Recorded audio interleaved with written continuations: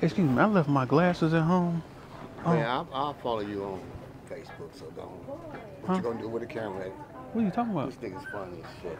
It's always some bullshit. Boy, No, it's always some bull when you y'all Dallas fans. You got that Dallas shirt on. That's the problem. The That's the problem. The Commodores minus That's Lionel the problem. You t- no, know no, other. because he talking about he recognized me, but I recognize a Dallas fan when I see go on the one. I can't found stand. I can't stand them Dallas fans. just- Listen, I can't read either, so I need you to pick me out the can of No, I need you to take that shirt and burn it. What, uh, what, what, what, what, what shirt can I burn of yours?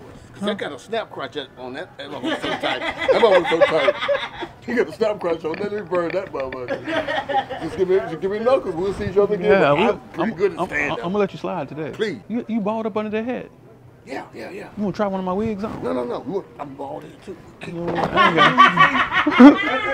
got- You got the wrong one.